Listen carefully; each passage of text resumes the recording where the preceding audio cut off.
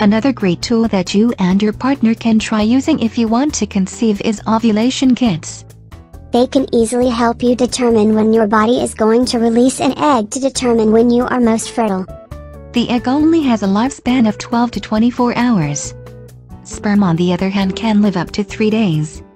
Conception is most likely to occur if there is sperm present the day before, the day of, or the day after ovulation has occurred.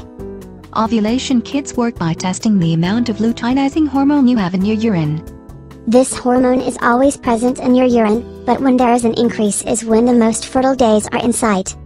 This LH surge is an indication that ovulation will occur, meaning that an egg will be released from an ovary.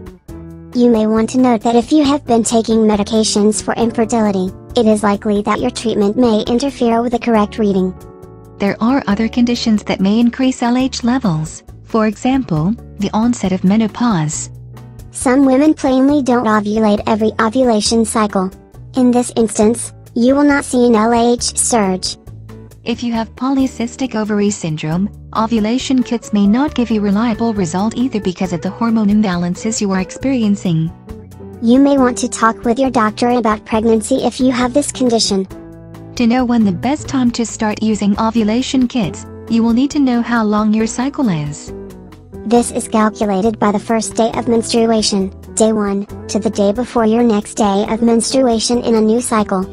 If you have an irregular cycle, you may want to take an average of the last few months to give you a rough estimate.